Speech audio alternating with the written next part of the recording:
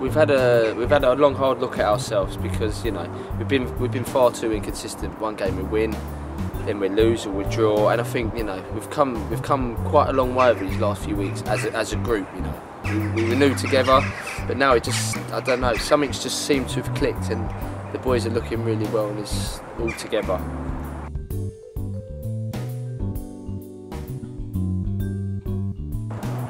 Me, um, good one. Bit like a Room 101 question. Yeah, it is. Um, but we we just pushed down the Fulham manager. I think we pushed down Kit Symons. That's all we pushed down.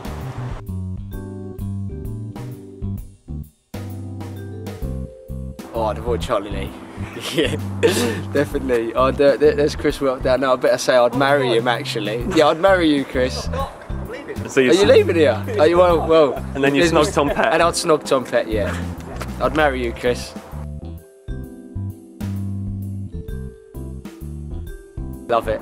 Absolutely love You it. actually? Yeah, I do. I, uh, nine o'clock every month. Well, let's say every Monday when it's on. I absolutely love Made in Chelsea.